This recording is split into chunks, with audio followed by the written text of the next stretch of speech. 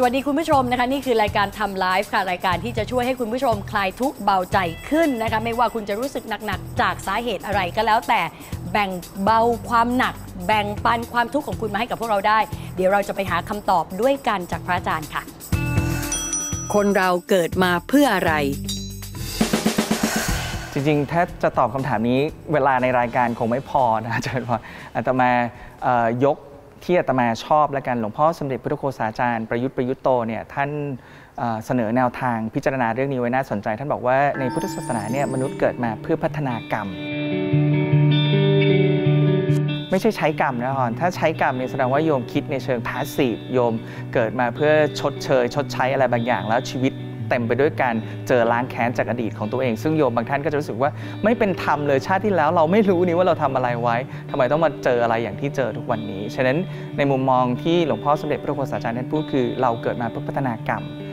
กรรม 3 ด้านเลยอย่างน้อยนะฮะหนึ่งคือมโนกรรม วิธีคิด วิธีรับรู้โลก วิธีเห็นความสัมพันธ์เชื่อมโยงระหว่างมนุษย์ กับมนุษย์ มนุษย์กับสังคม มนุษย์กับสิ่งแวดล้อม ถ้าเราเห็นว่าจริง ๆ แล้วโลกใบนี้มันก็คือการคิดของเรานี่แหละ เพราะการคิดนำไปสู่การพูด และการพูดนำไปสู่การลงมือทำเริ่มต้นที่ใจเราพัฒนาวิธีคิดวิธีมองโลกของเราให้ดี เหมือนอย่างที่ในมรรคแปดขึ้นต้นด้วยสมาธิฐิต้องมีความเห็นที่ถูกต้องก่อนกรรมที่สองที่ชวนพัฒนาก็คือการพูดทำไงจะเว้นคำพูดส่อเสียดเพ้อเจ้อเว้นการแชร์อะไรที่มันไม่ควรแชร์แชร์กันจังเลยเฟกนิว นั้นก็ไอสิ่งนี้มันทำให้เรากลายเป็นคนเฟกไปด้วยโดยไม่รู้ตัวนะฉะนั้นก็ต้องมาลองฝึกตัวเองให้มีการสื่อสารที่ดี อะไรที่พูดแล้วทำให้เป็นความจริง มีประโยชน์ คนฟังชอบใจไม่ชอบใจไม่เป็นไรเลือกเวลาที่จะพูดความจริงและสิ่งที่เป็นประโยชน์นั้น อันนี้เป็นหลักที่พระเจ้าตรัสไว้ในอภัยราชกุมารสูตร ฉะนั้นท่านใดสนใจก็ไปค้นคว้าต่อได้ กรรมที่ 3 ก็คือในแง่การลงมือทำการกระทำทำไงเราจะเว้นกรรมชั่ว เราจะทำในกรรมดีๆ ที่มันจะเสริมสร้างความดีให้กับชีวิตเรา อันนี้อาตมามองว่าทั้งชีวิตมันคือการพัฒนาแบบนั้น และไม่ต้องคิดในภาพใหญ่แต่ละวันก่อนจะนอน คิดว่าพรุ่งนี้เราจะพูดอะไรกับใคร เราจะทำอะไรกับใคร ที่เป็นเรื่องที่ดีกับสังคมด้วยกับโลกนี้ด้วย ฉะนั้นทุกครั้งที่โยมลดการใช้พลาสติก โยมใส่ใจเรื่องอการนำ แก้วของตัวเองไปใช้โยม พิจารณาว่าการใช้กระดาษบางครั้งเปลืองใช้กระดาษรีไซเคิล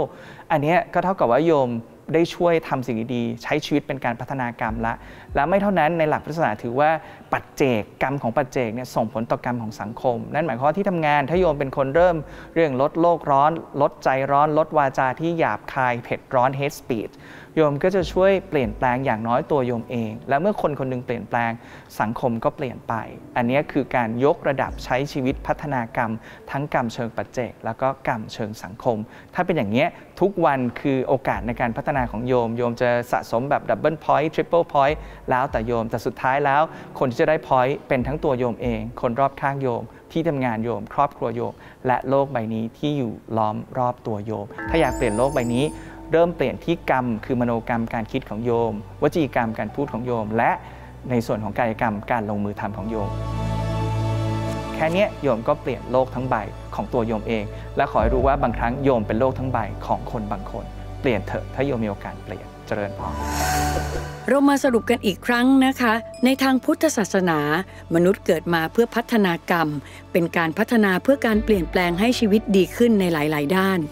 1. การพัฒนาความคิด ให้มีหลักธรรมะเป็นสิ่งยึดเหนี่ยวจิตใจ เพื่อให้เรามองโลกตามความเป็นจริง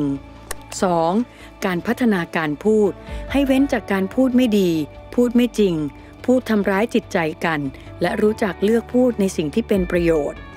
3. การพัฒนาการกระทำละเว้นกรรมชั่วทำแต่กรรมดีที่จะช่วยให้ชีวิตเราได้พบเจอแต่สิ่งที่ดี